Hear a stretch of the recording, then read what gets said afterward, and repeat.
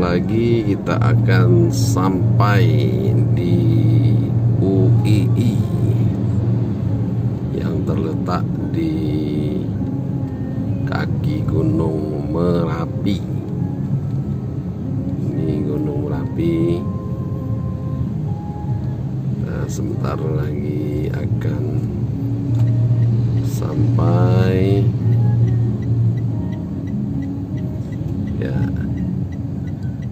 sudah belok kiri itu gunungnya.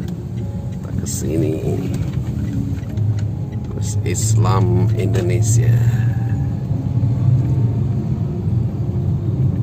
Masuk langsung ketemu dengan Masjid Ulil Albab berkubah emas